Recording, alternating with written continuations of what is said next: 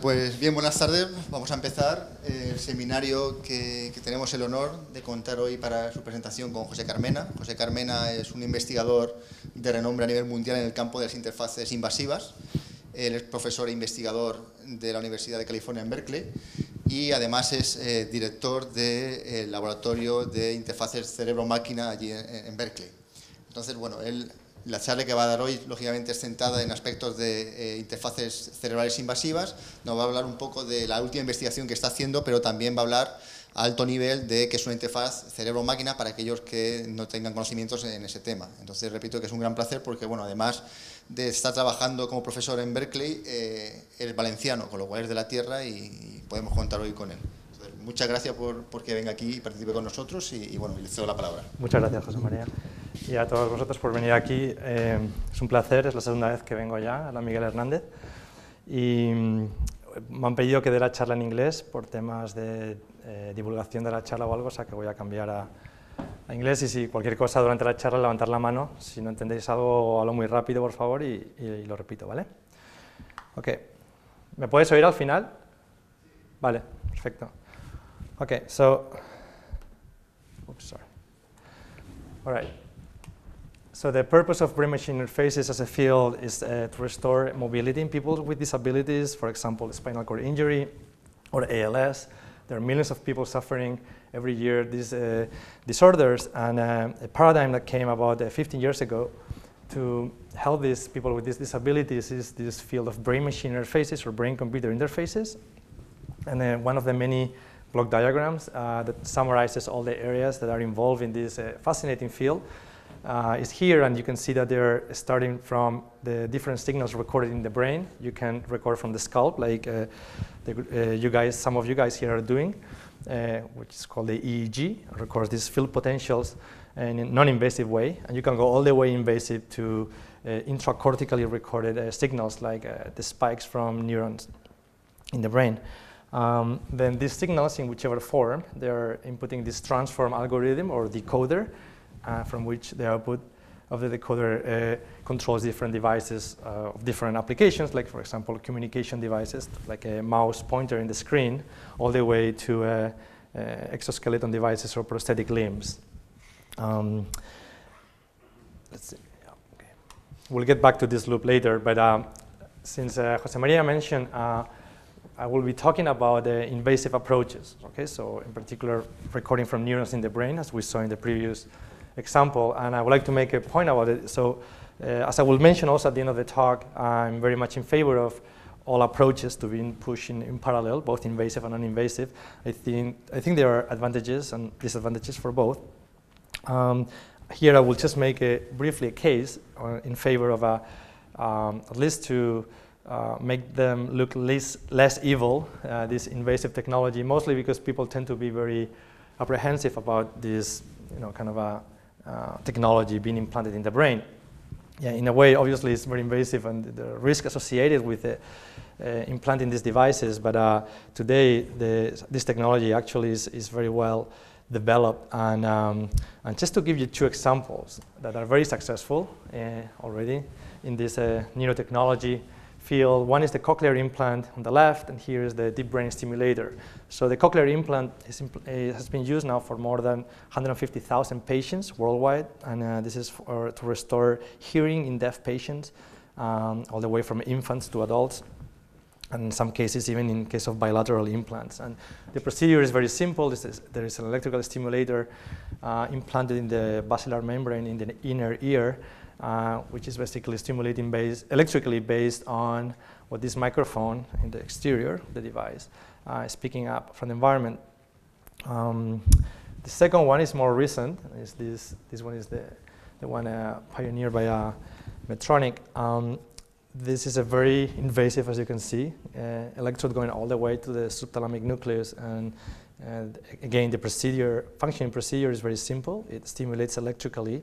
Um, in these deep brain structures in cases where drugs and meds don't help anymore the patient and basically this alleviates the tremor. So it's used mostly for Parkinson's, but there's been investigated now uh, other applications like uh, OCD and other conduct disorders and so on, okay? But bottom line, these are today uh, routinary um, procedures in many medical centers ar around the world um, and are very invasive, as you can see. So we expect that the same would happen with uh, other applications, like in the case of restoring mobility. Okay, so let me give you a little bit more detail about the kind of problem that we are interested in, uh, in this uh, neural control of movement. So this is a cartoon summarizing the main structures involved in this circuit, right, going all the way from the brain, uh, both in the cortex, subcortical structures, the brainstem, the spinal cord, and then the plant using terminology from control theory. Okay, so this is in this case the biome biomechanic plan, which is this muscle skeletal system. And eventually there is some behavior being produced and this closed loop, right, that you see here. So uh, th that's a very complicated system by itself.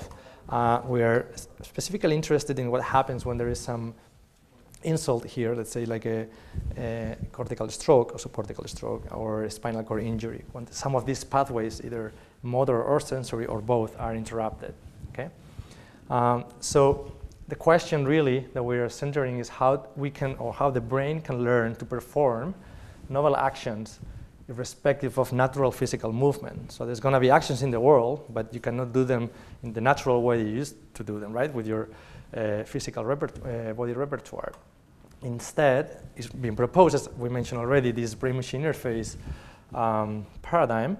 Uh, and then um, in particular, in, in our lab, we are very interested in questions around how the brain adapts to the machine and how the machine also can adapt to the brain, as we'll see today and all the plastic process that undergoes this learning. Um, one thing that is central to today's talk is the, um, is the, the role that this kind of a element here capture as a neural network, but this is the transform that we saw before. Uh, what's the role of this, this block, right? So we're going to look at this like the spinal cord for prosthetic function. So in the same way, we have this sectional cut of the spinal cord here, and in the natural case, that will, the, you can look at this as a many to few transformation, like projecting from a higher dimensional space of hundreds of thousands of neurons to a subspace of, let's say, 20 muscle groups to move the arm. In, a, in the BMI case, uh, the decoder or the transform uh, is, you could think of it equally as a spinal cord for prosthetic function. And it has as input dozens to hundreds of neurons, for example, and projecting into a subspace of position x and y of the end effector, for example, or velocity or torque of the joints or whichever parameter you're controlling, okay?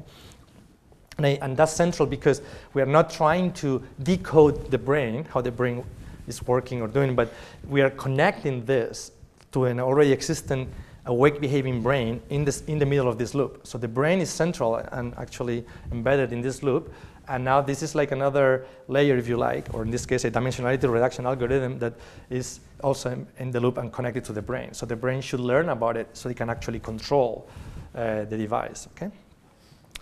Um, okay, so what are the problems of the main two challenges in the field right now, specifically talking about invasive brain-machine interfaces, okay?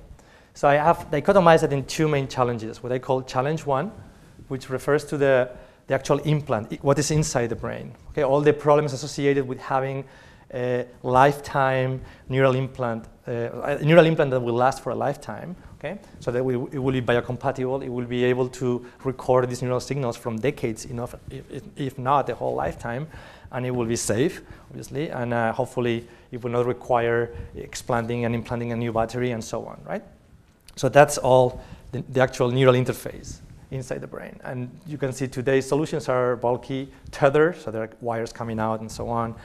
Okay, and then um, they're all um, wired implants. So the other one, challenge two, is anything else out of the brain, basically. Let's assume you could have this implant viable, like a pacemaker for, for the heart, right, working very well. What can you do with that? Okay, how much that could allow us to recover function. And then, um, and this is, you have here cases of the, the two human clinical trials going on right now from the Brown group and the Pittsburgh group, which is very exciting to see this, this already translated into humans. Of course, we need even more of these cases. Uh, but you can look at this like the half empty, half full bottle, right? On the one side, it's extremely exciting to see this really translating from uh, working animals to humans. On the other, on the other, on the other hand, is uh, uh, still not enough, right? The control achieved in these cases is, is on, the, on the way, it's in the, going in the right direction, but uh, we're still far from uh, skillful control, like at the level of the we, we move our limbs, right, to perform tasks of daily living, not just reaching for a glass of water. But also, let's say brushing your, te- uh, brushing your teeth or whichever activities uh, one performs normally in a given day that requires sophisticated motor control. So um, this is, uh, I think, of course, this is, spans or branches out in many sub-challenges related to different parts of what the BMI field is doing, but in a way, they're very distinct, right? One is the actual implant, the other one is what can you do with the signals recording from that implant. Okay, so where is the opportunity? Um, with respect to challenge one, uh, I will just show one slide. Uh, many groups are currently involved in, uh, uh around the world in, um, in, in designing the, the right materials and, and, and the ultra low power circuits that will be able to record the signals and wirelessly transmit them elsewhere. Um, I'm collaborating with uh, colleagues in electrical engineering in UC Berkeley, like Michael, Michel Maharbiz, Jan Rabaey, and Elad Alon, working in this uh, project in which uh, very compliant and tetherless structures could be implanted in the brain and all communicated with wireless links and so on in a way that will be um, will remove all the caveats or problems that we mentioned before.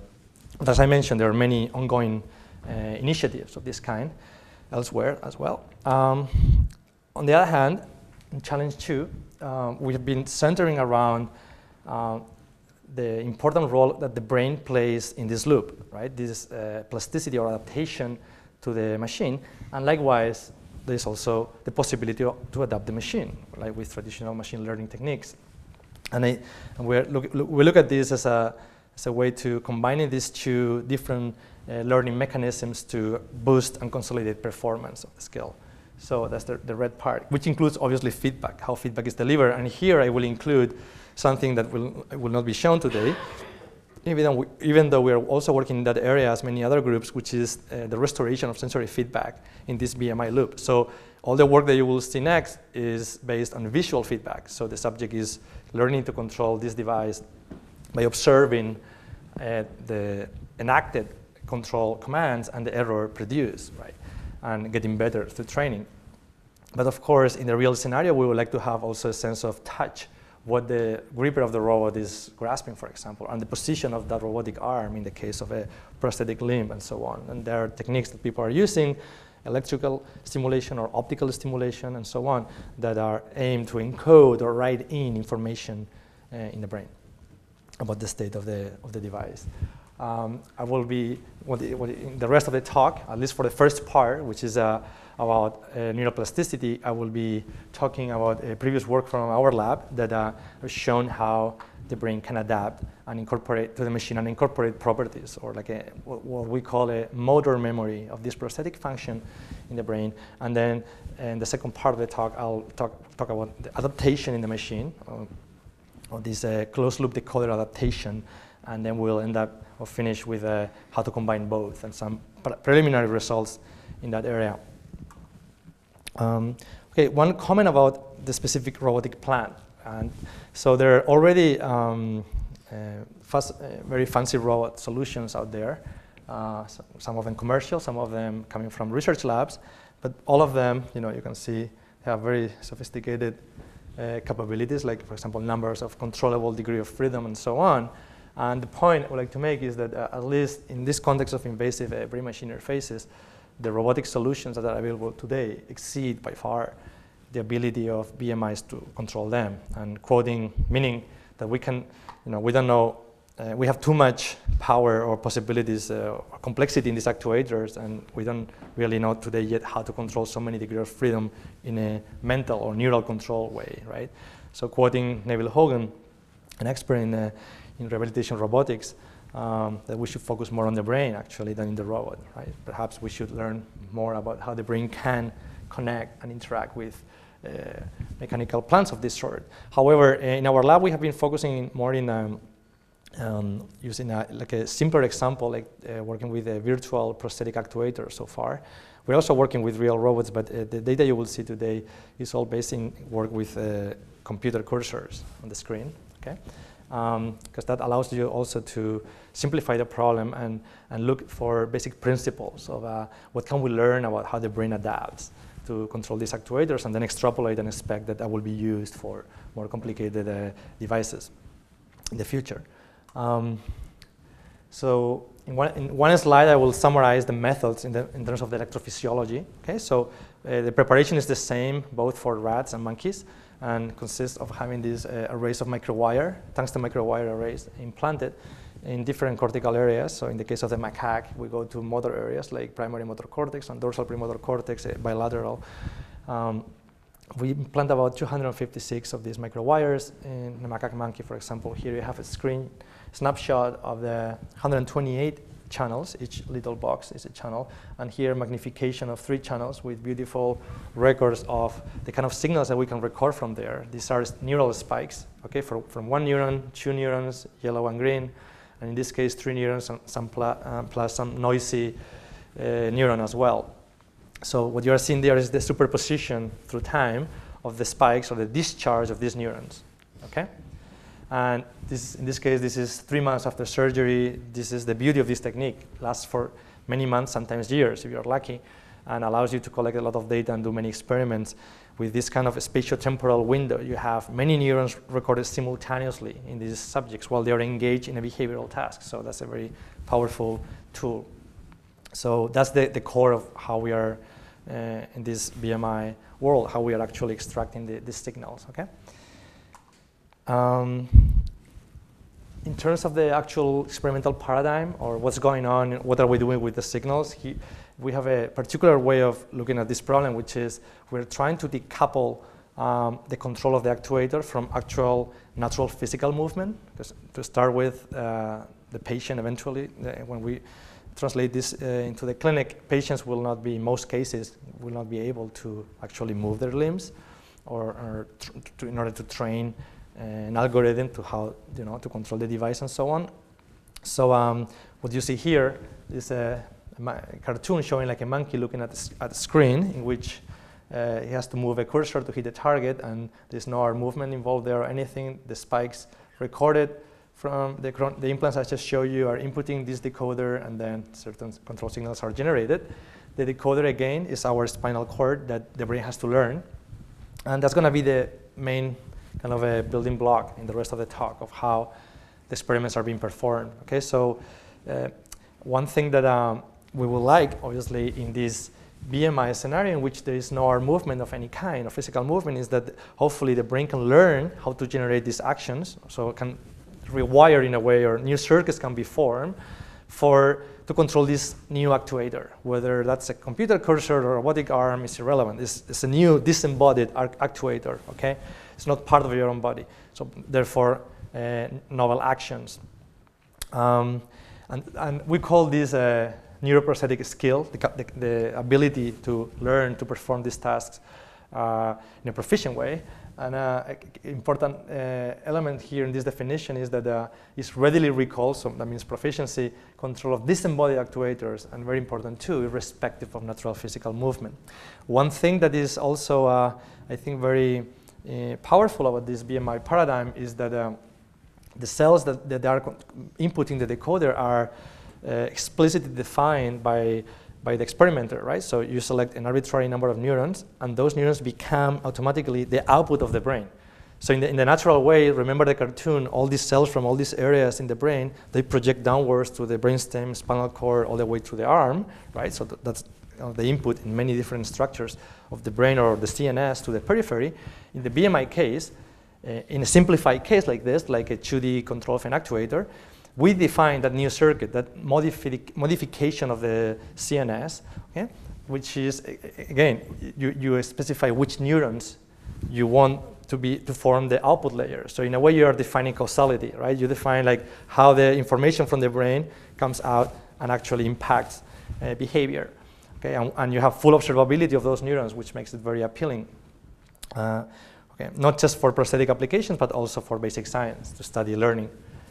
Okay, so let me show you an, an old video from, this is my postdoctoral work at Duke with Miguel, Miguel Nicolelis and colleagues. And here, what you see is a macaque monkey learning to control a, a joystick to perform a simple reaching task. This is a manual task, okay? It's controlling that pole, and we're scanning the endpoint with an infrared marker there, and at the same time recording activity from neurons. And these were the early days where we wanted to close the loop and show that in the absence of physical movement, you could get the animal to modulate neural activity to perform that task uh, in the absence of physical movement, basically under what we call brain control.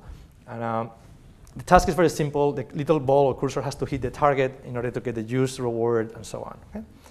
Uh, so at the same time the animal is playing that task, we're applying a simple linear regression model generating a linear map between neural activity and behavior. And if we play that, this is what happens. You can see that the joystick is removed now. The arm is just resting there. And then, uh, sorry, let me get this. Yeah. And the animal can play the task. Obviously not as fast or accurate as in manual control, but it, it gets better through time. And more importantly, the activity of the muscles of the arm during this task in brain control are, are not active, right? So you can see the EMGs are flat as, as opposed to during manual control where they're very active. So the animal is really resting, ignoring the movement of the arms or exciting any muscle and just focusing on doing the task manually. Also very important is that they get better through time. Okay, this, that was a video from 2002 and then and basically showing what happens when you start, you switch to brain control after playing the task manually and seeing that the percentage of trials correct increases in the course of an hour, more or less, through biofeedback. So by observing the error, the animal is able to change the firing of these neurons to do better and better, and that's the performance increase that you see there. Okay, okay, that was very exciting, and we pushed that to a more complicated task, which I can show you videos later, which is the reach and grasp task, again, in the absence of physical movement. And that's the, the comparison now, the two tasks, the one that I just showed you the video, in blue is the manual control, in red is the brain control. Low, I mean, not as accurate as manual control, but still pretty good. And now if you go to the harder task, you can see immediately this drop in performance, like it's harder for the animal to do. And also uh, you can see uh, variability from day to day, like not necessarily you keep doing better through time, which is a signature of motor learning, but, but there is some variability. Like some days you do better, and the other, next day you do worse, and so on. So what's going on there, right? Knowing, doing these experiments, the first thing you realize is that how easy is to bring this down, you make the task a little bit harder, right? So it's very sensitive to parameter change. So, so it's very good to prove the concept and to observe how the brain adapts and changes in neural activity through learning to perform this task, but at the same time, to scale up in complexity and, and, move the field forward is, is worrisome, right? Like something is missing here. So let me also remind you that the way that this and the other studies also done at the same time during those years um, were done, it was basically uh, use any available neural activity that you could, you could record from a subject in a, in a, given day, use it to generate a decoder to make, to, to, to, to, basically to control, to perform brain control, right? So you will try to get the better or the most accurate description in a given day of how the brain controls the arm and start with that model to do brain control. Um, in a way, it makes sense if you think like it's all the same problem except that there is no arm movement. But what I'm going to be talking for the rest of the talk is a different view. Is the view that I already mentioned a little bit that this is a new circuit that the brain has to learn. Okay, it's a new circuit for action, and it's not relevant to this one. Okay, because all the elements in that loop are different. The plant is different, the controller is different, the numbers of neurons involved in the control, the sensory pathways are different because they are interrupted or absent, meaning uh, like sensory pathways, and so on. So, what's the point? Why we should try to uh, decode how the brain controls the arm to control a computer cursor or a robotic arm for the same reason, right? So maybe that also explains why the doing the experiments in, in those conditions are very sensitive to scaling up in complexity. Also, so inspired by what we know about how we learn skills, natural skills, right? Like pra practice make you perfect. Um, and basically, it has been shown that this learning and practice a it's associated with some kind of a stable motor memory, okay? So that you kind of uh, recall the skill of how to drive your car when you jump in your car, or how to play tennis when you grab your racket, or play the piano. You don't have to relearn every day, right? You just recall your memory, your motor memory. So what if you, we could do something, get something similar in the context of a BMI, okay? So recall that there is no physical movement. So if we will keep this circuit stable, that's the hypothesis, right? That will facilitate um, this, the emergence of this prosthetic motor memory. In other words, if we think of this like a spinal cord, and we keep it fixed. So instead of ad adapting the spinal cord, changing it every day by generating a new decoder, just leave it with the same parameters from day to day. And now let's assume we could keep also the same stable neural activity okay, from day to day. Like we have the same pathways or neurons projecting to the spinal cord. There's going to be some changes, but in, in, in general terms, that's what we call the stability of the circuit. So if we keep this as opposed to retraining or using different activity every day and a different decoder, maybe the brain can actually retain what is learning in day one and use it in day two and three and four. And then we'll, eventually we should be able to form this memory. That's exactly what, what we tested here. Okay, so this is what it, what it means like 15 channels of neural activity across 20 days. These are the same cells. We were blessed with the first animals uh, at Berkeley that had very good recordings, so we could test this. Uh, and we'll talk about this constraint in a moment. Well, do we need that? I mean, this kind of specific cell isolation for prosthetic control. But at this point, we're just testing this hypothesis, right? So we are keeping the same neurons stable, and we are connecting them to the same linear model, linear filter. And to some, also to give you a summary of what we are doing, this is the, a cartoon summarizing the, the network in the brain. Here, I mean, like all neurons connected in, in, a, in motor areas. This is uh, the array, the black square that we're putting in one area. In blue, you have like neurons that we are recording from that array. And then there is a subset of arbitrary neurons that happen to be very good in terms of recording quality, very stable. So we decided to choose them as BMI neurons. So these are now the output of the brain, not the blue guys. All the red guys are the ones that connect directly to this decoder this spinal cord. Okay, so before we get into the BMI space, let me show you what is not BMI. But so the same decoder model, the same model of how the arm controls movement, how much uh, variance in the data captures already. So what you see in, the, in white is the hand position of the monkey, and in red is a real-time prediction uh, of what the hand is doing, right? The animal is not seeing this. This is just for us to validate this predi the prediction of our model.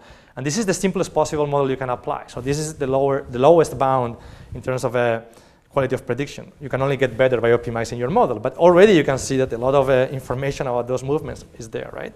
So this is basically linearly, linearly regressing these 15 neurons that I just showed you to position X and Y or shoulder and el elbow angles, okay? So what I claim is that this is not, well, this is not BMI, and this is not necessarily helpful or informative for BMI. Meaning if, if now, wow, I'm gonna, the computer. If now um, we switch to brain control, as you will see, performance uh, drops dramatically. And, and, in fact, it does not help at all the animal to have start with this solution in a way, or it's not necessarily the optimal way to start. Uh, the animal has to learn how to do that now in the absence of physical movement. When he's doing this, it's just doing natural motor control. When he's trying to do it in, under brain control, uh, it's starting a de novo uh, circuit so to speak. Okay, so the brain has to figure out how to do it. Okay, so this is, oops, sorry. This is what you see here. This is the first day that this monkey did a, the task under brain control. Okay, the task that was doing manually for months, and it was overtrained and very good doing it, uh, which is what you saw going to the center and then wait for a go signal and reach to a target in the periphery, and then it gets a reward, and then goes back and initiates a new trial. Let's see what happens in um, the first day that we remove the exoskeleton and the animal is just facing the, the screen.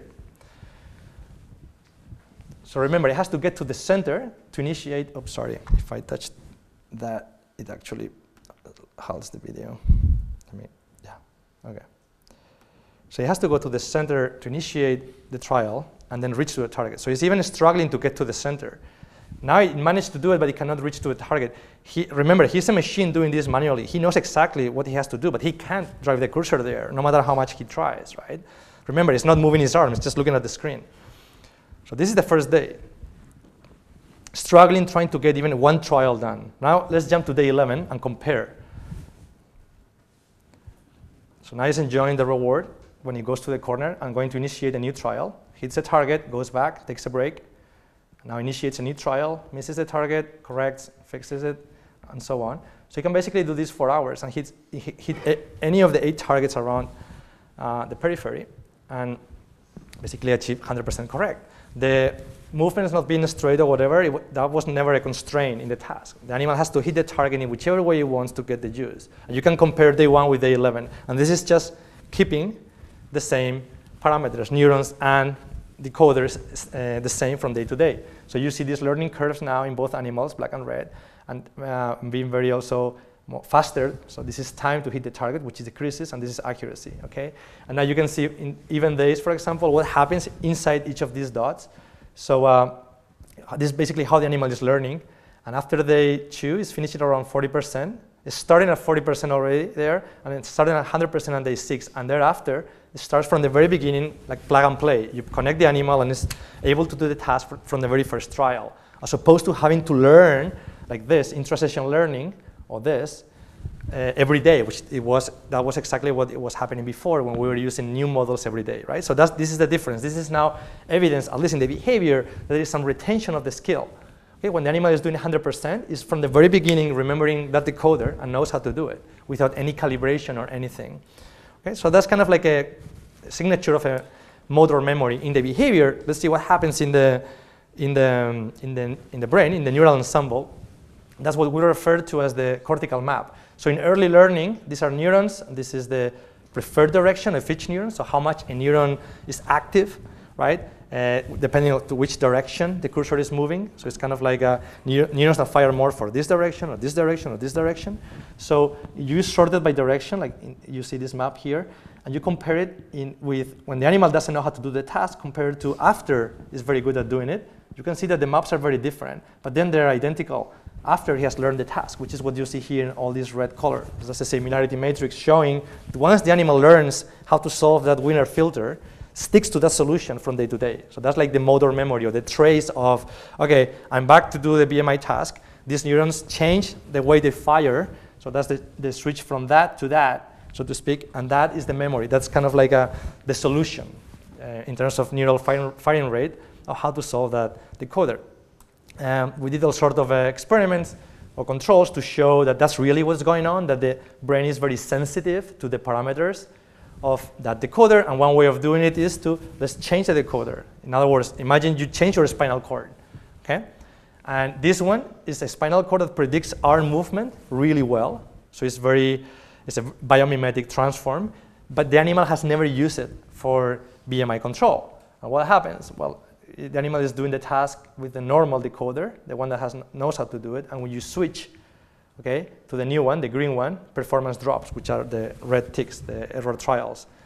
So you cannot do it, right? And then you, you, put, you plug back the old spinal cord and performance goes and re gets restored. So it's reversible, and you can do that many times. It works very, very so it's very, very clear uh, result, very robust. Okay, so it's really sensitive to what kind of decoder it has learned.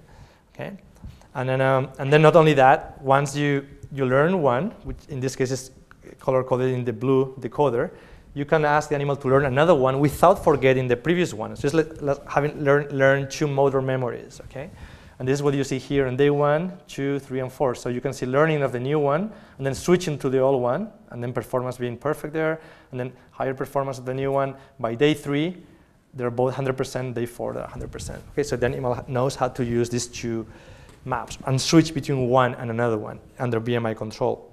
And the last part of this plasticity in the monkey uh, part of the talk um, is we mentioned about this uh, no need of using a biomimetic solutions or decoders. So let's test it, right? So if we are saying that you don't need to start with arm movement representations, let's start with a decoder that, is, that is actually predicts arm very badly. So here you have a biomimetic decoder that predicts very well 0.9 correlation coefficient. So in black you have the actual shoulder and elbow traces, and in light blue, the prediction of the model.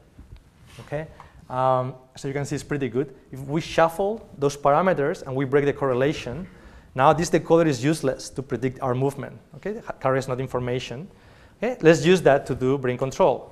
And then we get the same result. The animal gets better through days and then learns the, the decoder and that solution is stable. Okay?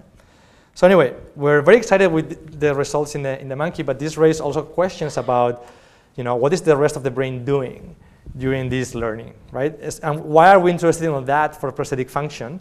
Well, ideally, we would like to know whether um, the brain actually can uh, exploit all the circuitry, the built-in circuitry for natural motor learning in a case of neuroprosthetic learning. So you see the, the difference, like there are all these structures like the basal ganglia, okay? These deep structures in the brain and these loops like from the cortex to the basal ganglia and back that have been shown to be very important for natural sequential motor learning, for example.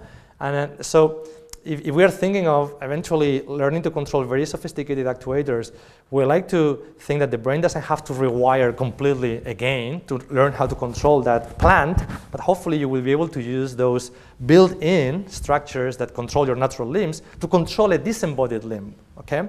And that's a pretty profound thing. And why is actually, but we would like to keep that, or I mean, know about uh, that uh, possibility while also keeping the flexibility in the output layer to have more of an engineering approach, let's say, to design your prosthetic device. Like maybe, for example, a robotic arm, like the ones you saw in those images, those are not biomimetic in the sense that they are not made of muscles and bones and so on, right? So ideally, as the engineer or the neural engineer, you would like to have the flexibility to design your prosthetic system and your control system um, without being constrained to do it how the, you know, in a biomimetic way, and how the brain controls the natural arm. However, at the same time, we like that brain, that brain to incorporate that abstraction or abstract device into neural representations and, uh, and be able to exploit that built-in circuitry. You see, so it's like yin and yang. We want the biomimesis from you know, neural plasticity and adaptation of a very abstract device. So to test that, with a, we went to the rodent model for BMI. So now we are talking about work in rats and mice. And why is that? Well, because it's much easier, at least for us, to manipulate uh, certain circuits here to access the structures like the striatum, and then in collaboration uh, with the laboratory of uh, Rui Costa in uh, Champalimaud Institute in Lisbon, uh, who is a world expert in, uh, in the basal ganglia, but also in transgenic mice. Okay, and um, and it has a very interesting mutant that lacks NMDA receptors in the striatum, so we can test whether lack of plasticity there uh, uh, impedes the animal learning or not, for example. So this was a, a, a very interesting collaboration that um, we did recently. It came out last year. And basically, we are recording in two structures now simultaneously. M1, the motor area, to control the prosthetic device, but also in the striatum, which is this area that receives massive projections from M1 in these loops, so-called corticostriatal loops. Okay? I'm going to make the story short, but basically just tell you that this new BMI system is um, designed in a way to test this hypothesis. For example, so whether the animal can do it irrespective of physical movement. And for that, the way we designed the, the, the decoder, it was with uh, the connection of these differential decoders. So we have two decoders now with a minus sign in between, meaning to, to reach for one target, for example, reach for food, the animal has to increase the firing rate of one ensemble of neurons and decrease the firing rate of the other one. And to reach for water, it has to do the opposite. Okay? So this is actually something very abstract for the animal. This is a tone now, an auditory tone, because rats don't see very well, but they can hear very well. So they, they have to increase the pitch of the tone to a high pitch uh, to get food or low pitch to get water. And, um, and remember, these neurons are in the in the vibrissae area, uh, in the whiskers, so where the neurons that control the whiskers of the rat. And then, um, so if the rat will start moving the whiskers, all the cells will be active, and then the activity here will cancel each other, and the cursor will not be able to go anywhere. So to be able to move the cursor up or down, the rat has to learn how to differentially modulate the activity of these neurons, upregulate, downregulate, right, depending on which target it wants to go for. And, um, and not only that, the rat doesn't have to do it if they don't want it. They are not instructed to move to a target or not. They're just sitting there and, and they see, or they start hearing this tone or, and finding or exploring, and by accident they hit a target, and then they start learning how to actually do it volitionally. And this is actually traces of neural data, how they, they actually did it, right? Um, but also we, we test, so we get a learning curve, as you saw in the monkeys, they get better through time. They cannot do it without feedback, so it's dependent of, on the tone. Again, like in the monkey was visual feedback, here is auditory feedback. And, and just to test whether they actually uh, did it without any body movement or uh, if they did it irrespective of physical movement, we embedded some accelerometers in the acrylic cap and showed that while the animal is doing the task, the three axes of the accelerometer are flat, and here you can see the movement when retrieving the reward, and the same with EMG signals in the actual vibrissa, the animal is not whisking, it's, it's pretty much learns to be immobile and do the task mentally. So an extremely abstract task for an animal like a rat okay? But they can learn it. Now, what we're asking is, how are they learning to do this? Is this a voluntary action, like goal-directed, intentional, like the rat wants to go for water or wants to go for, for food? Is that what is happening? So eh, a way to do that is to do these so-called behavioral manipulations. For example, you feed the rat before the experiment. You give them many, many uh, lots of pellets, which is food, for the rat. So presumably it will not be hungry and it will go only for water trials. And that's what you see here. And exactly the opposite if you give it a lot of water and the rat only goes for food during the task. So it has control, goal-directed control of the, of, the, of the device, okay? which is a very interesting property. I think very first time this has been seen in a, in a BMI or prosthetic scenario. And what happens the, in, in, the, in, these areas that we were talking about, the, the main question about this plasticity, well, if you compare early learning versus late, this is a coherence map here, so what you see is frequency and time and serious time to hit the target more or less. And you can see the increase of coherence in late learning in this band, frequency band, which is summarized here, which is exactly what has been shown in, a, in studies of natural motor movement in monkeys. So it's very similar. So this means that when the animal learns how to do the task, there's this very strong coherence between M1 and the striatum, suggesting that there is some changes there, there's plasticity. But that doesn't tell us if this plasticity is necessary, actually, to learn to control these disembodied tasks. So this is where the beautiful experiments carried out by Xing and Rui Costa show that in, in wild type mice, meaning mice that are not mutants, okay, they, we get the same result early, early versus late learning. They can learn the task. But mutants, they can't. Okay? This, again, these are mutants that lack these NMDA receptors in the striatum. So this basically suggests that this plasticity between M1 and the striatum is necessary to learn this abstract task, which is again very exciting news now because as we mentioned, let me summarize this here, we have now the advantage of counting all this plasticity that we saw in, in the monkey, the motor map, and also all the areas that are facilitating this learning, both for natural tasks and now also BMI tasks. Okay, so we have all these uh, potential use of the brain to, to, to, learn the device, while we have also the flexibility to have in the output layer a, a, a certain level of abstraction, like the, this abstract task that Rad was doing that has no connection with what they do normally. Those cells normally they move the whiskers, and here they are learning how to do this, to control this weird auditory cursor, right? So it's, uh, I think, uh, very exciting in the, towards prospects of how can we, what can, how much can we count on neuroplasticity and, and, and the biology, so to speak, for, for prosthetic function. Okay, so now I'm going to switch gears. And the rest of the talk, we're going to be talking about adaptation in the machine, more like the decoding. Um, but it's not just decoding, which could be re, uh, referred to as what we mentioned at the beginning of decoding our movement and so on. This is what we call closed loop decoder adaptation, CLDA. And what it means is about changing the parameters of your decoder during closed loop operation of the BMI, right? So in, in, in, dark gray, you have the original loop, the brain, neural activity, algorithm, actuator, right? So that's the loop and visual feedback. And now what we are saying is that in, in, embedded in that loop, there is another loop here that is basically how to change the parameters of your decoder. And basically the error signals to change them come actually from data from this closed loop operation. So there's no offline analysis or twitching. It's all based on online performance. And they're color coded here at least three different ways in which people have been exploring this, this, this paradigm, this way of changing parameters, right? So going all the way from direct error signals from the brain, telling the decoder this was right, this was wrong, for example, uh, or more like in a supervised way with Bayesian regression, or as we will see today, based more on these uh, uh, task goals that you know and the subject knows, right? And then the, the, the intended kinematics of, of, of that the, the, subject is trying to, to produce, right? And, uh, and you can compare those to the actual ones being produced by the decoder, which are the ones in gray. And you can use that to basically retrain your decoder, okay? All right. So also uh, in this CLDA framework, basically there are uh, it's, it's, very sensitive how you do it and what kind of parameters you change and how you change them uh, in terms of, in the, and depending on, uh, that's going to impact performance of the closed loop BMI. And uh, a way to summarize that is that basically there is the, the what, the when, and how to change these parameters, which parameters to change them, how to change them, and when, the time scale, which is very important. You could think of doing instantaneous adaptation of your decoder, like an adaptive filter, or you can do it more like batch learning, collect 10 minutes of data, and then do a whole batch and, and, and change all the parameters, or you can do something in between, right? And obviously there are advantages and disadvantages of both, depends on what is that you want to achieve. So um, Sid Dangi and Amy Bos Orsborn in my lab developed this uh, algorithm called a smooth batch. Basically, uses a, a Kalman filter framework. And uh, the uh, peculiarities of this algorithm is that we have our uh, state transition model fixed, okay, which is, this is what determines the cursor dynamics, which is based on actual arm movement data of the non-human primate.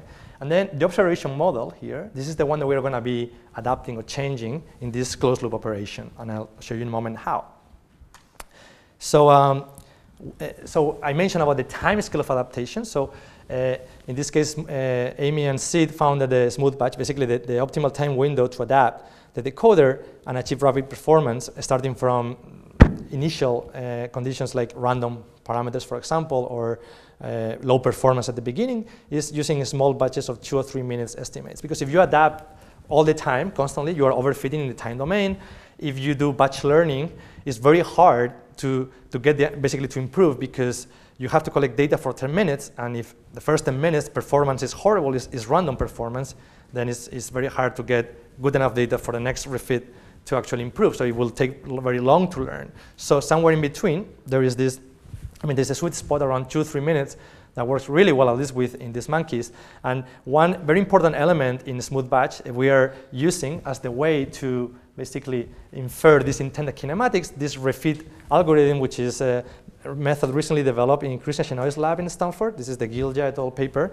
And here is, this is summarized here in this uh, cartoon. In black, you have the actual velocity vector of the Kalman filter during brain control. This is the target, so you can see it's deviating from where it really should go. But, oops, sorry.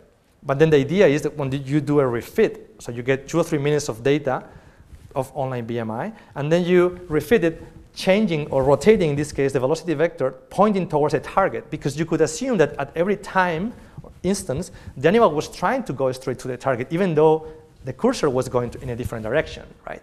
So that's a, a plausible assumption to make. And then, so you do these modifications in the data, and you, do, you refit your parameters, and uh, as we'll see in a moment, the performance uh, increases very dramatically. So this, in a way, summarizes what's going on in, during a smooth batch. So we have the, the spike activity, and then we do these updates, this maximum likelihood update of the C and Q matrices, and with this sliding average of this exponential uh, time um, overlapping window. And that basically that's based on these inferred kinematics, which we know now using the refit algorithm, okay, of what the animal was trying to do, to which target it was trying to reach for. And as you do a few of these one, two, or two to three minute batches, you can see immediately the, the jump in performance as captured here, for example. So in black is the actual learning curve. This is session times in minutes, starting from zero. Zero means that you start from a completely arbitrary decoder with never having the animal move the arm to feed that decoder, for example. Okay, so performance is zero, and uh, this is what we refer to as random initialization. And then you can see that after 10 minutes goes rapidly up, up, up. This is after doing a few smooth batch updates, and then it stays at maximum uh, rate of events per minute, which is this one. The decoder at some point is fixed. We don't need to adapt it anymore. So this is maximum performance, which is about 11 or 12 trials per minute. And you can see actually trajectories at the very beginning. This wobbly random trajectory is getting more structure, and this is fixed and laid about 15 to 20 minutes later. You can see the reaches to one of, to the eight targets being very stereotypic now, okay, it's becoming straighter. Uh, interestingly, this is independent all these improvements are independent of how you initiate or seed your decoder. Okay, so you could use baseline, which is starting with our movement data, a biomimetic decoder, but you could use also visual feedback, which means no exo or apparatus is involved. The animal is just watching a movie of a cursor moving. Okay, that's what we use refer to as visual feedback, and regressing that activity to neural activity. Or you can actually do shuffle, which is like random shuffle parameters or recording from the ipsilateral hemisphere, whichever way you want. Okay, so all these are the conditions tested here. And the important thing is that the result is the same. You can see that no matter with which seed you, you start, the positions at the end of maximum performance with the smooth batch, there's no difference. Okay? And then uh, there's very little, if, if at all, improvement correlated with which seed you are, you are using. Okay. So we talked about neuroplasticity. We've talked briefly, but at least to introduce about um, this um, family of uh, decoders, a way of doing decoding in closed loop, okay, CLDA.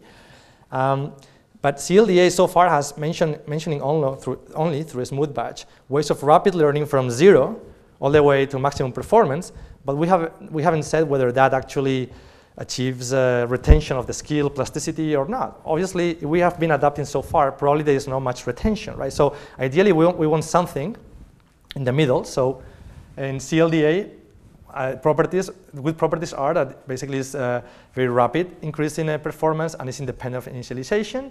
And remember, the skill learning gives you this plasticity, this recalling the, the memory of how to perform the task uh, and, and, the capacity of exploiting the similar mechanisms as natural motor learning. But now, question, do we have retention over this and any skill learning in this, if the, if the learning takes place in the machine as opposed to in the brain?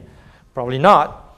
Uh, however, if we do all the learning in the brain, it's slower learning, and it might not be good enough for the level of performance that we want to achieve okay, in the, in the, in the long term, and also it might not be uh, realistic in clinical settings. Remember what I showed you was keeping the same neurons from day to day. That's not realistic for a clinical application. You would like to have that constraint relaxed and have something more like maybe channel resolution or some kind of threshold crossing. Because for those of you not in the BMI field, what I'm saying basically is like if we could do the same, achieve the same results without needing to isolate perfectly these neurons and have more like a noisy estimation of the neural activity in each electrode, that would be great because it's much easier to keep this neural activity for months and years or decades, hopefully one day, than obviously individual single neurons, right? So these are kind of pros and cons that we see from these two uh, different learning mechanisms here, okay? So basically what we have seen so far all adaptation in the brain in one extreme, all the adaptation in the decoder, there has to be some sweet spot, sweet spot in between, what we call co-adaptation, that hopefully can explode, exploit the best from both worlds, right? So, um, so that we can actually speed up the learning process, again, independent of how you initiate your decoder, but you can also retain the skill that you learn, and also very robust to changes in the activity, like you lose a cell or a channel dies, you can add another channel hopefully and, and still retain that skill without having to reset the whole decoder and so on, right? So what we are, I want to show you in a moment is, is this idea of, okay, this will be the, the dream, right? The, the, the, the whole, uh, what we would like to do or how we would like to achieve this control, it will be something like this. Initiate independent of movement because we're talking about the patient with lack of uh, our movement, for example then do some decoder adaptation to be able to bring performance good enough so that the actual patient or animal can do the, the task. Not very good, but at least has some control as opposed to being random movements, which is frustrating and it's hard to get engaged when you have no control of the cursor. But then stop the adaptation there and do what I showed you in the first part of the talk. Keep those decoders, th those parameters of the decoder fixed, okay? And and as, as same as the, the ensemble, so to trigger this learning in the brain, this plasticity, right? And now you have both. You have a, a, a rapid learning starting from zero, uh, neural plasticity, and then just adapt as needed. And this as needed is meant to be like for the rest of the lifetime of this implant. Like let's say in month 34, you lose 10 channels because of uh, some malfunction in the array. You, then you should be able to use other channels from other arrays maybe implanted in that animal or patient and, and touch up so to speak, your decoder without changing the, the, the, map or the memory that you have, okay, and, and, and continue performance. This is similar like when you have a microstroke or a lesion or something and you recover. Only when it's a massive stroke, maybe you, you feel like, oh, now I cannot move. But if it's minor, your brain is basically very redundant and can rewire and you keep functioning, right? This graceful degradation, so to speak, that people talk in neural networks. So, so that's the main idea. Use this CLDA to, if you think like this is the neural map, and then um, and sometimes with time, the, the decoder and the neural map basically they, they lose the alignment. You just do a refit and keep the lining back again, right, to, to have better performance. So that will be how we would like to think of this combination of neural and artificial adaptation. And this is what I, I'm going to show you in a video. So I think I'm going to uh, skip this graph because you're going to see it immediately in a moment. Um, well, just want to highlight that after uh, so in black you have, so this is the first day. Let me just explain it here and then you will understand the video actually better. So the, the, first day starting from zero, okay, that's the black dot there. and doing a little bit of a smooth, ba- a smooth batch iterations, we get all the way to almost 50% performance and then stop there, okay? And then for the next three days, one, two, and three uh, up to there, okay? Uh, just leave those parameters and you can see how the animal is getting better, right? So it's learning that decoder with no adaptation or further adaptation, as we were mentioning, right? And then each, each, every time you see a, a, a, dot, a blue dot, that means that there was a adaptation or smooth batch adaptation that day. Maybe because there was a noisy channel or something that was in, introduced in the system and you want to fix that, right? But the, but the point is that at this level, by eight, day six, the animal has reached maximum performance. However, in this plot, which tells you how many trials it's doing, how fast it's getting, how many trials per minute, okay, you can see that uh, after not, you know, uh, maxing out performance, it still get, gets better, okay? So this means that the, combining these two mechanisms actually allows the animal not only to rapidly learn, but actually to improve and becomes faster, which is something that we wanted. So, you know, to, again, to gain the, the advantages from both different learning mechanisms. Um, the same we can see here in terms of the error produced in the movement. So that decreases. Okay, this is the error and variability from, let's say, deviation from a straight line from the center to the target or something like that. Here you have the error produced by natural arm movement. So you can see that it's actually getting very close to the psychophysics of natural arm movement, okay, in this combination. So let me, and again, improves after the maximum percentage of uh, performance has already been saturated. The animal gets improving, which is great. So let me show you this video. So what you're going to see is, to summarize, um, the decoder we are using, for the decoder we are using neural signals in which now we're just lumping anything that we capture in each electrode as one single entity. It's like a noisy estimation of one or more neurons around that electrode. It's what is called multi-unit, and we call the, the way of getting that data threshold crossing. So anything above a threshold counts as one spike, including noise, and, and that's in that electrode is one basically one same entity. Um, this was not shown yet in the, in the setting of plasticity. Chestek from the Shenoy lab showed previously that you, it can be used for decoding in closed loop, but now we're asking whether you can actually induce plasticity with that level of more kind of blurry neural representation, if you like.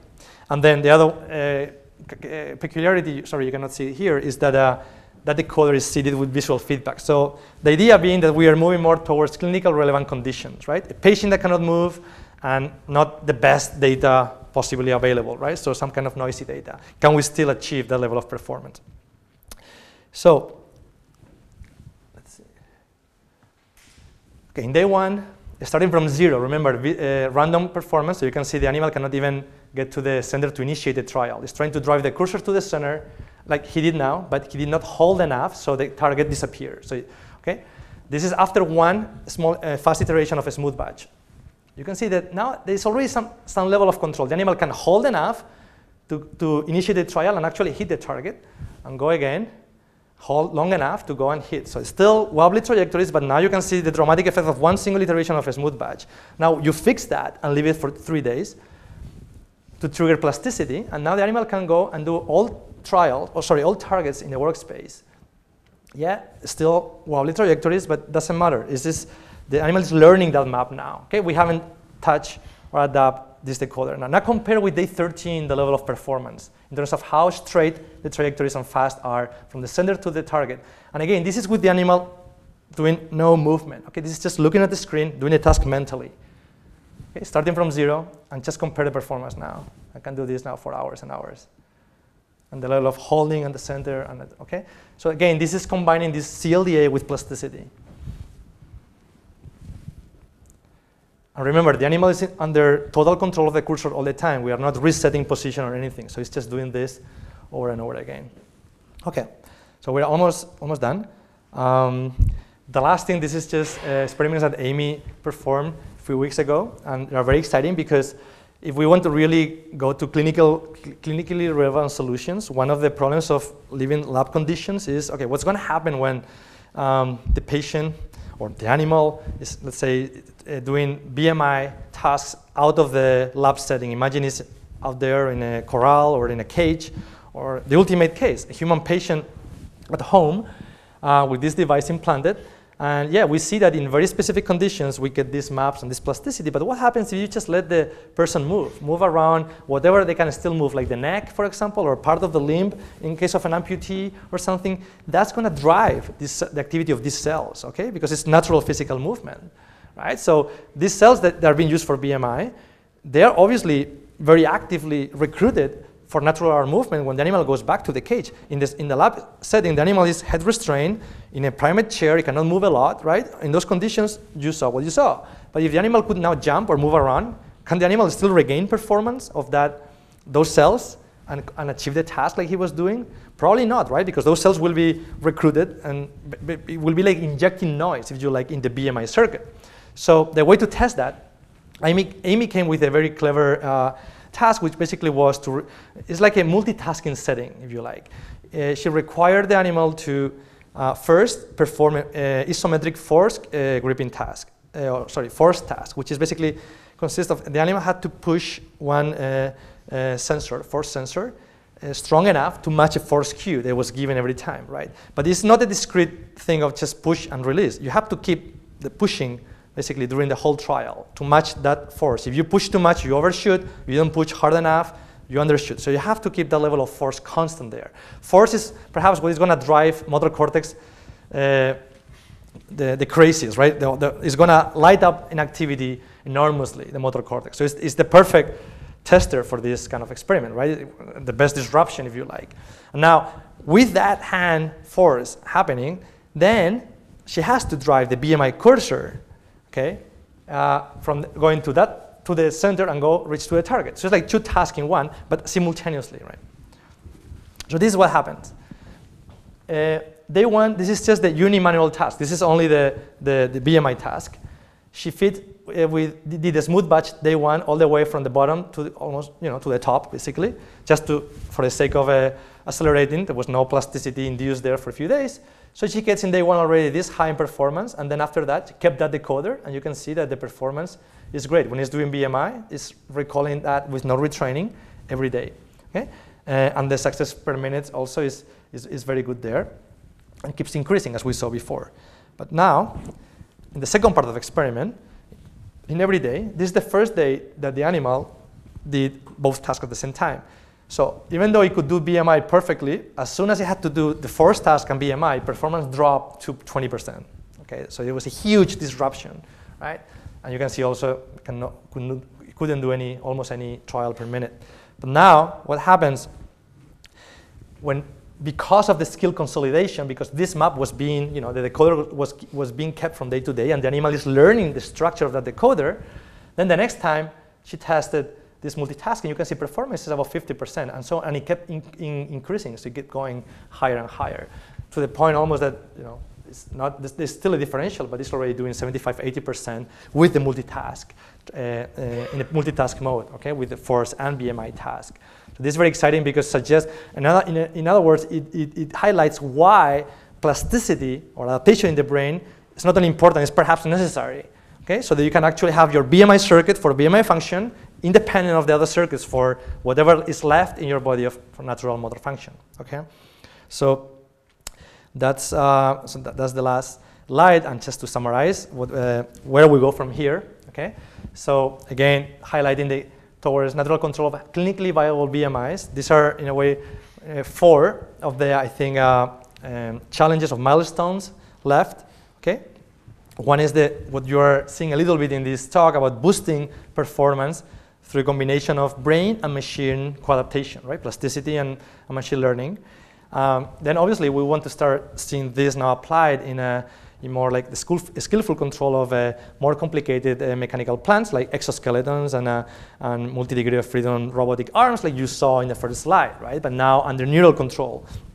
Uh, so that you can actually perform tasks of daily living um, then I mentioned also briefly about the importance of restoring sensory feedback that will be necessary, perhaps to increase this ownership of the device, this feeling of natural control of this disembodied device. And finally, the one that we mentioned also about the, uh, the what we refer to as challenge one, which is all the neural implants um, in the brain, in the lifetime uh, neural implant. And then the, the last comment I want to make uh, regarding going back to the initial point I made about invasive or non-invasive, this is my, my two cents, my personal view on this, is that obviously having the two approaches is better than having just one.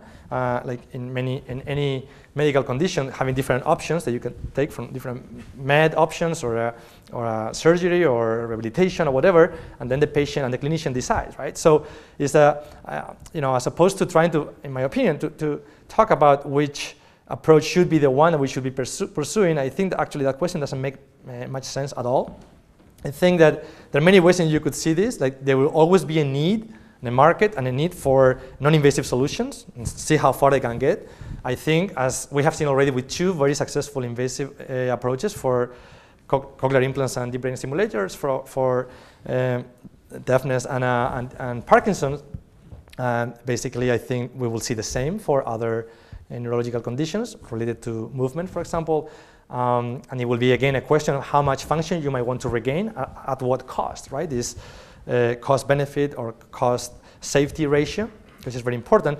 But you also you can think about advantages of synergizing both kind of signals or hybrid systems, what I call, okay, which is more like a, a think of the uh, activity recorded with invasive or non-invasive technique at the level of field potential signals are normally more global dynamics, so it can tell you a lot about the arousal state and uh, uh, you know like uh, whether uh, attention and other cognitive states that are very important, whereas more the high resolution intracortical activity like spike or multi-unit activity can tell you or give you more bandwidth for uh, more uh, kind of like low level control if you like. Um, so I think the only important thing really is, we, is that we get to, we start to see more clinical viable solutions, uh, at least in this motor or sensory motor area. And as I mentioned, this is at the end of the day is the the decision between the two most important people in this picture, which is the patient and the physician, to decide uh, which one approach. But again, as I mentioned, a big advocate of uh, the kind of work that uh, uh Jose Maria and all the other folks here in, in, in Elche are doing in non-invasive and in other places in Spain and Europe and in the rest of the world. Um, and I just look forward for uh, new advances in, in, in, the field, both invasive and non-invasive. Uh, lastly, I would like to help, I mean, thank obviously the phenomenal group of people that I'm uh, privileged to work with. Um, in yellow are the people that left already the lab. Uh, today you saw data from Karunesh Ganguly in the primate and also from Amy, and then also a lot of work in the in the CLDA part from Amy and Sid Dangi. Oh, and the rat, the rat work was uh, done by Aaron Koralek. And yeah, also like to thank the rest of the, the lab collaborators and funding agencies. Thank you very much.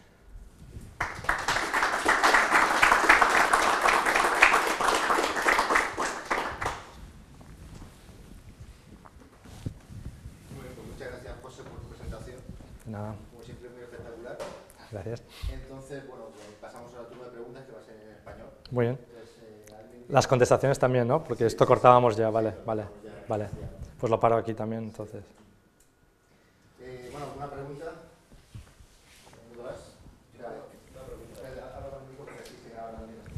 Tengo una pregunta. Sí.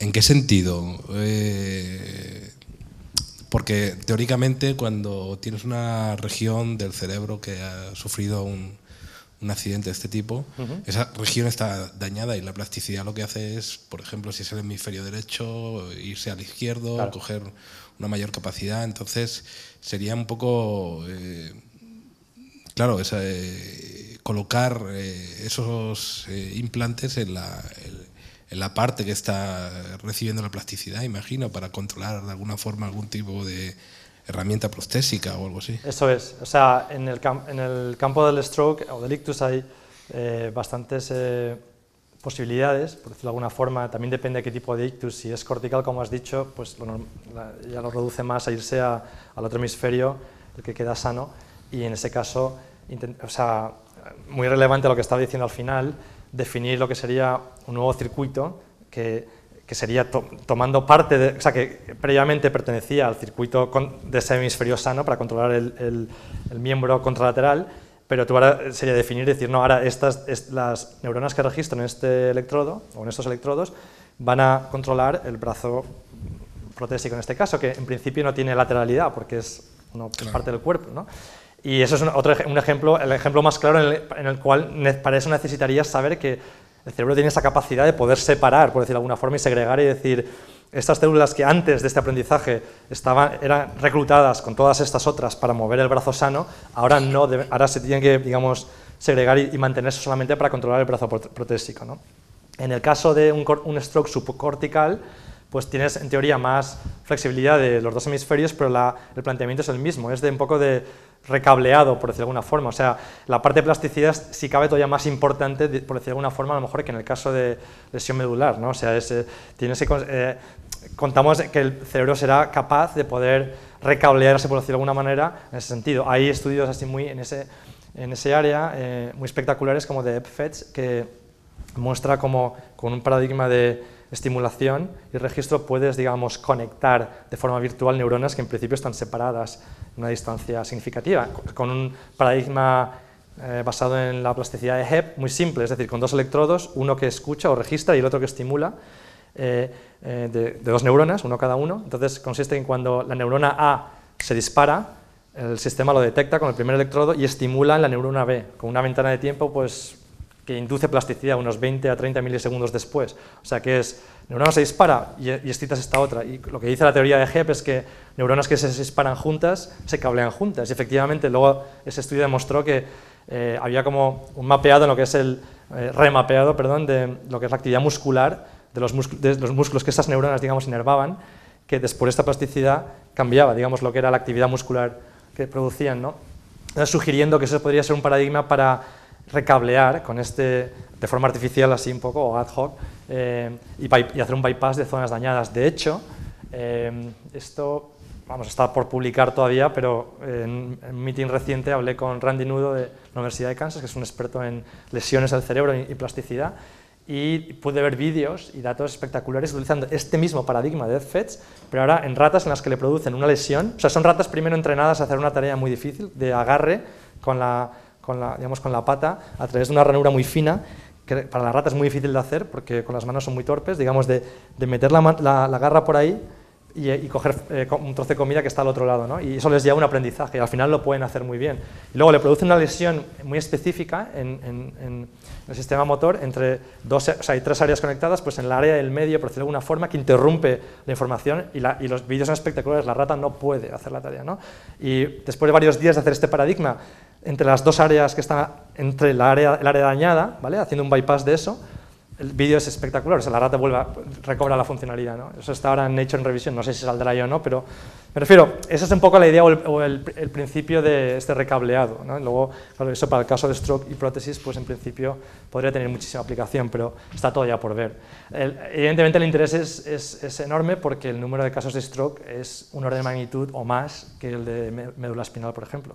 Y es, no es que no estemos interesados en médula espinal y en ELA y, y todo, pero es que el caso de ictus es es impresionante ¿no? el número.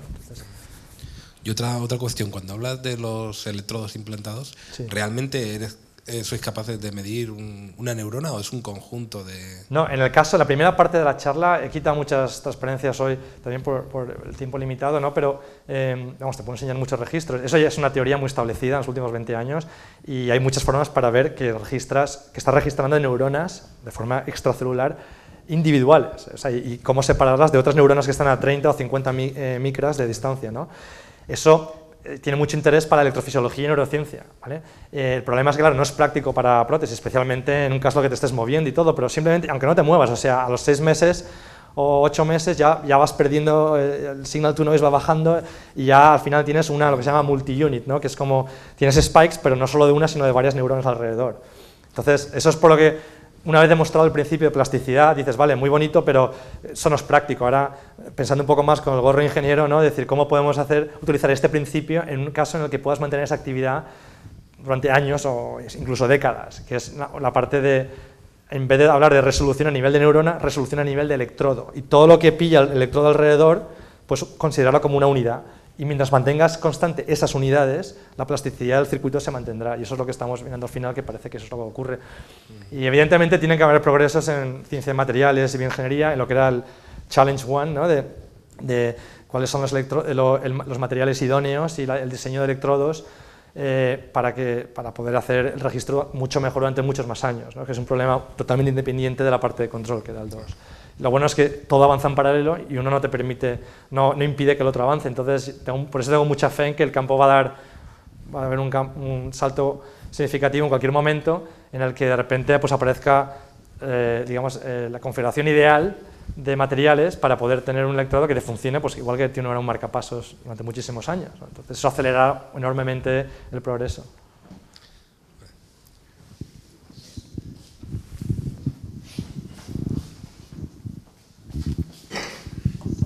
Ese es el único problema, es decir, si queremos implantar esto en personas, igual que un implante coclear, como has comentado al principio, o, en el estimulador, ese es el único problema que hay, porque los algoritmos han dicho que funcionan, eh, la implantación de los electrodos, bueno, pero la implantación de los electrodos se puede hacer, eh, los algoritmos funcionan, Exacto. Eh, la multitarea que has comentado al final, pues también bueno, sí, pero se está empezando a hacer, pero ¿qué más falta entonces? O sea, aparte de mejorar cada una de las Claro, todo eso luego lo tienes que llevar, yo lo que he enseñado hoy, o sea, como he dicho, nos estamos centrando en principios básicos de plasticidad, de adaptación, de cómo conseguir que estos dos sistemas muy distintos eh, se sinergicen y puedas, digamos, explotar los dos y todo, pero en un caso de un control de un cursor en dos dimensiones, ¿vale? Entonces puedes decir que a lo mejor estamos muy cerca de tener lo que llaman un communication prosthesis, que es pues eso, un control de un ratón virtual, o sea, de hacer de alcance y clic, o sea, reach and click, que puedas hacer surfear por la web y hacer cosas, ¿no? De una forma muy, muy precisa. Eso sí que te diría, pues eso, eso sería ya como desarrollo, la investigación ahí ya quedaría poco por hacer, por los algoritmos que hay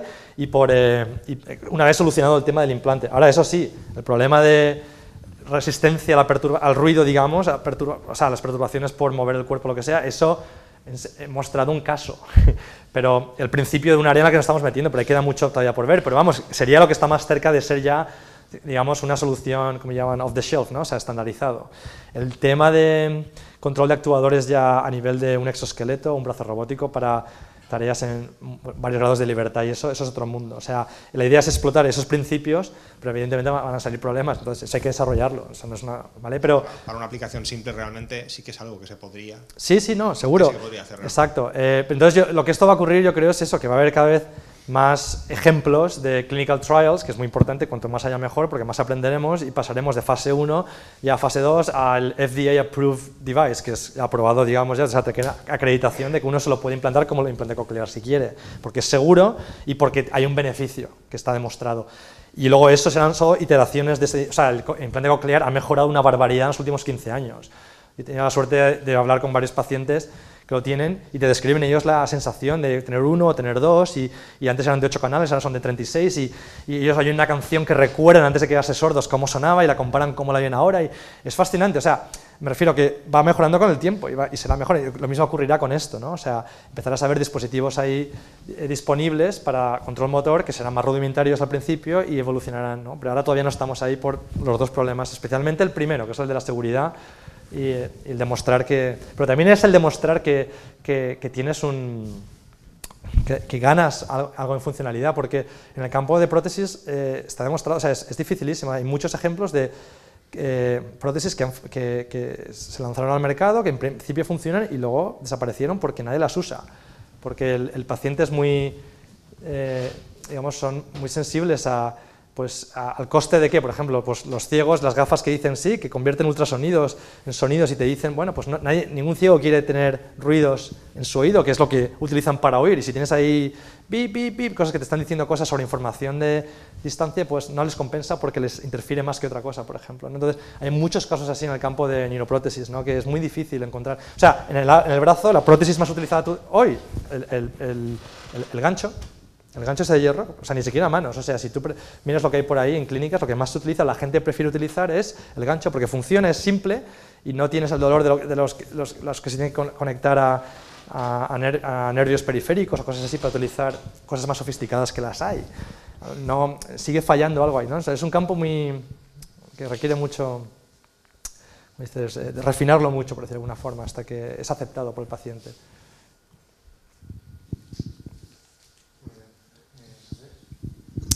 Bueno, lo mío era una curiosidad más que nada. En la parte experimental vosotros trabajáis con primates, ¿no? Entonces digamos que tienen un nivel ratas.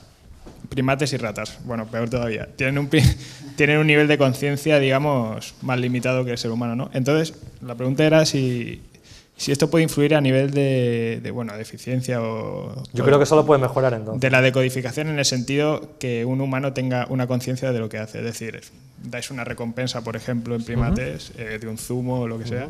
El hecho de que el ser humano sepa lo que tiene que hacer ya a priori... Yo solo lo veo con una ventaja. Eso en vez de darle zumo le das, le das 100 dólares por hacer la tarea, si quieres. Exactamente, pero por ejemplo, en el, en el sentido de... por ejemplo, una película que le interese ahí o lo que sea. No, en serio, es, el reward es importantísimo, pero... Claro, claro, yo lo decía en el sentido de alcanzar un objetivo, digamos que el primate le cuesta y al ser humano es... Claro, pero en principio es todo, yo lo veo solo ventajas, en el sentido de hmm. más capacidad pero también cuentas con la posibilidad que puedes hablar con el paciente, te puede decir lo que está probando. Eh, pues ¿Qué estás haciendo para intentar mover el cursor? Pues me estoy imaginando que estoy moviéndolo con mi mano, o no, o estoy pensando, esa información no la tienes en el primate, yo nunca sé lo que el mono piensa, solo sé que, lo hace. Entonces, y sé que el mono sabe las reglas de la tarea porque se las hemos enseñado antes de forma manual y lo hace al 100% pero a partir de ahí no sabes más. ¿no? Entonces, por eso era tan importante, no, tu pregunta es muy profunda, porque por eso era tan importante en el tema de las ratas demostrar que las, las novel actions, el control protésico de la rata es lo que se llama intencional y goal directed. O sea, la rata sabe lo que está haciendo y elige lo que quiere hacer. Y si le das comida, pues solo se va a beber porque tiene sed y no, quiere comer más. Y al revés, en vez de estar de forma aleatoria haciendo comida, bebida, comida, bebida, ¿no? O sea, tiene un control voluntario de ese cursor y eso es muy importante. ¿no? Entonces, la única forma de hacerlo eh, con animales es eso, es hacerle esas manipulaciones a nivel de comportamiento, de darle mucha comida antes o mucha bebida antes. Pero en un ser humano le podrías decir, le podrías decir, a ver, demuéstrame que solo quieres hacer esto o quieres hacer lo otro, por ejemplo. ¿no? O sea, en principio yo lo veo más como una ventaja. Estamos empezando a hacer ahora a trasladar estas técnicas a humanos, es, se lo comentaba antes a José María, alguno de vosotros, que es un tema muy complicado porque estos son eh, pacientes que tienen eh, una manta de estas de, como de eje, pero de electrodos, pero debajo del cráneo, que se llama ECOG, y lo tienen durante una semana implantado, esperando, son eh, pacientes de epilepsia, epilepsia severa, entonces los implantan para detectar cuál es el foco de la epilepsia y luego, digamos, le quitan ese trozo del cerebro, para, que es la única forma de curarles. Entonces, en esa semana que tienen, o varios días ahí, esperando que ocurra el ataque epiléptico, pues eh, digamos, eh, se ofrecen voluntarios pues, para participar en, se entretienen de esa forma, por decirlo de alguna forma, ¿no? jugando estos juegos o tareas y en el que vas, los estudiantes van ahí con el equipo en un carrito, lo meten en la habitación donde está el paciente y enseguida le explican lo de la tarea eh, y, nada, utilizamos el mismo algoritmo, todo lo que habéis visto hoy aquí.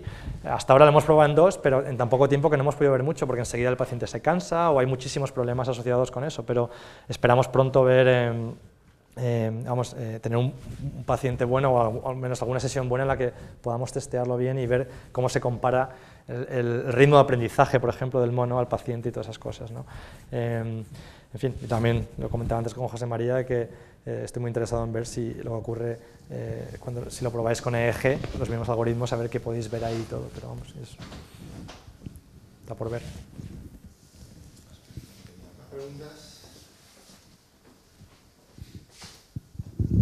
Yo, tengo una. Eh, cuando has comentado el tema de, lo que era el aprendizaje de las primeras pruebas que hiciste con Nicolelis, ¿no? que lo que hiciste fue eh, entrenar a partir del modelo, ajustaste el modelo en base a, los microelectrodos que pusiste. Esos microelectrodos los pusiste en la zona cortical para registrar acciones motoras. Entonces, luego has, luego has comentado que, claro, si quieres partir desde cero, lo que hacías era poner imágenes al mono, con lo cual el mono lo que veía era trayectorias para llegar al punto. Eso es. Claro, en ese caso estás trabajando no en la zona motora, sino con la parte del corte visual, entiendo. Ojo, el corte visual está siempre involucrado en el BMI, pongas donde pongas los electrodos, porque el único feedback que obtienen es visual. Claro, lo que te quiero decir es que en ese caso, eh, claro, tú no cambias la, ubicación de los electrodos, o sí que has probado a poner eh, esos electrodos en la parte del corte visual para ver si así se mejora. no, no, realmente porque eh, en, neurociencias ya hay, bastante literatura mostrando que en la, o sea, digamos, la, corteza motora recibe muchísima información, digamos, visual y parietal, ¿no? Entonces, el, ver acciones, o sea, todos los trabajos estos de los mirror neurons y el mirror system, ¿no? que neuronas en la corteza motora que se disparan de verte a ti hacer una acción, por ejemplo, y cosas así. ¿no? Eh, o sea, eh, está demostrado que hay una, las neuronas digamos, modulan su actividad al ver acciones motoras, en, áreas motoras. ¿vale? Entonces, eh, en principio, la razón de entrenar el modelo así es solamente para poner el rango de los parámetros del modelo sea, los parámetros del modelo dentro del rango de lo que estas neuronas, digamos, se pueden disparar. Por ejemplo, si pusiéramos números aleatorios, números reales aleatorios, a lo mejor podrías estar asignando un número enorme, menos 580 a una neurona, que, es un, peso enorme que la neurona puede, por ejemplo, controlar porque el rango de modulación de la neurona es, muy pequeño. Entonces, eh, el utilizar esto simplemente para la inicialización del, decodificador, hacerlo a un nivel en el que esas neuronas están, eh, para lo que se disparan esas neuronas, los parámetros son adecuados. No quiere decir que, produzcan un control adecuado, pero que a partir de ahí, el cambio de, bien de los parámetros y o de las neuronas ya pueden empezar, se, digamos, se acercan más a lo que es el, manifold o la solución óptima para, para el brain control, ¿no? pero es un poco por dónde empezar, más que nada, en vez de hacerlo completamente arbitrario, no, no de hacer un mapeado a la información visual, que se puede decirlo de otra forma. ¿no? Pero eso también se relaciona con la pregunta de, bueno, ¿dónde es mejor poner los electrodos? ¿Los tienes que poner en la corteza motora? Probablemente no. De hecho, estamos eh, empezando ahora una colaboración con un colega que, registra en Berkeley en, la corteza prefrontal, que yo creo que es probablemente la más idónea para, para BMI, ¿no? porque es enorme y, y está demostrado que vamos, que puedes incluso te pueden seccionar bastante de corteza prefrontal si te afecta la conducta, pero a, ningún coste de sensorimotor, o sea, tú no notas nada si a alguien le quitan, le estirpan la mitad de la corteza prefrontal, no puedes notar nada en cómo se mueve o cómo habla, sin el contenido de lo que dice o cómo se comporta, evidentemente, pero que quizá impacta menos que ponerlo donde tienes una circuitería más debajo, o sea, low level en el sentido de más dedicado al control eh, muscular y cosas, o sea, que el cerebro tenga que deshacer más de lo que estaba haciendo en principio para aprender lo del BMI. Esa es un poco la hipótesis, ¿no? que en la corteza prefrontal hay como más recursos para, o más flexibilidad a lo mejor para diseñar circuitos abstractos, por decirlo de alguna forma. ¿no? Es una hipótesis, pero vamos, cuando la gente me dice, eh, si lo pones en la corteza visual funcionaría, eh, no lo sé, nunca lo he hecho, mi respuesta suele ser que, que probablemente, pero requeriría más esfuerzo que hacerlo en la corteza motora, porque todo lo que son corteza motora prefrontal está diseñada para acción, mientras que visual, auditiva, etcétera, son cortezas eh, lo que se llaman primary sensory areas, ¿no? o sea, que están diseñadas más para estímulo-acción, o sea, reciben información y se disparan. ¿no? Entonces, el recableado que a lo mejor el cerebro tiene que hacer es mayor, por decirlo de alguna forma, pero probablemente también podrían, pero vamos, es más una pregunta empírica. Sí, no, te, lo comentaba porque, claro, en no invasivos sí que, por ejemplo, cuando estamos trabajando con potenciales evocados, sí que nos vamos al corte visual para poner lo que son los electrodos y luego en acciones motoras pues lo ponemos en, la corteza motora. Es un poco lo, que se diferencia. Por eso me llevaba esa duda, pero, pero está claro que lo que tú dices, que al final pues también influye en la, zona motora, con lo cual... Sí. Y, luego, en segundo lugar, la otra pregunta creo que me has contestado en el hecho de que, claro, ¿cómo decides dónde ubicarlo? En, vuestro caso es el, microarray del electrodo, ¿no? Es decir, porque es complicado, ¿no? decir... Hombre, vamos a la corteza motora porque es fácil, está, muy, está muy estandarizado, por decirlo de alguna forma, y también por otros intereses, más en de, neurociencia, ¿no? O de registrar luego para otras tareas que no son de BMI, ¿no? Porque la, gente dice, bueno, si estás diciendo que no te hace falta un modelo biomimético de cómo, para qué vas a la corteza motora, ¿no? Es pura conveniencia, pero vamos que sabemos, Richard Anderson la, ha demostrado control desde la corteza parietal. Nosotros con Nicola lo hicimos también, pero el problema es que utilizábamos a la vez todas esas áreas, entonces es más difícil decir lo puedes hacer solo con la sensorial o la parietal. Estaban todas incluidas en el modelo, pero la prueba definitiva la hizo Andersen cuando solo lo hizo con parietal, por ejemplo. ¿no? Entonces nosotros queremos ahora eh, meternos a, ver hasta qué punto la prefrontal eh, eh, nos, da incluso más margen pues, para aprender, no, el aprendizaje más rápido o, no, o si hay alguna diferencia. O sea, yo, mi predicción es que será un continuo, ¿no? de, tiene que haber de, de, más a menos, o sea, no va a ser todo el cerebro igual, pero en principio no hay una razón por la que no, no puedas, si das suficiente feedback, eh, reorganizar a través de plasticidad el cerebro. ¿no? Muchas gracias. Eh, ¿Alguna pregunta más? Bueno, pues José, gracias, otra vez por, tu presentación. A vosotros por aguantar ahí todo el rato.